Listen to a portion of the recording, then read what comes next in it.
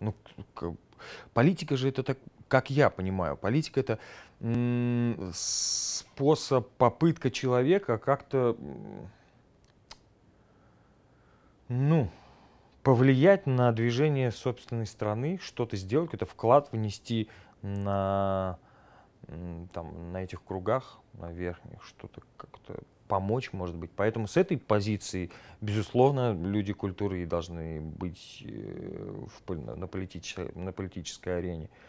Ну а если просто люди культуры находятся там, потому что они известны кому-то, и поэтому они получили место, поэтому они получили кресло депутата там или еще кого-то, просто потому что они в телевизоре были.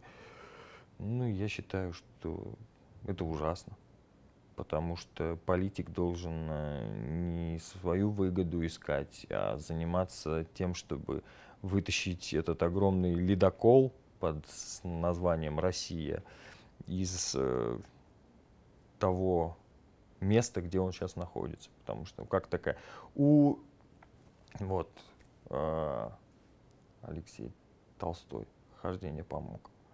Ну, там есть, не помню какой, монолог Телегина, а, где он говорит, ну, ведь вы посмотрите, как у нас все делается, ведь и больно, и обидно. Ну, такая, э, такая богатейшая страна, такие талантливые люди. А какая видимость? Это говорит Алексей Толстой. А такое впечатление, что абсолютно современно. Ну вот прям абсолютно. А какая видимость? Вот.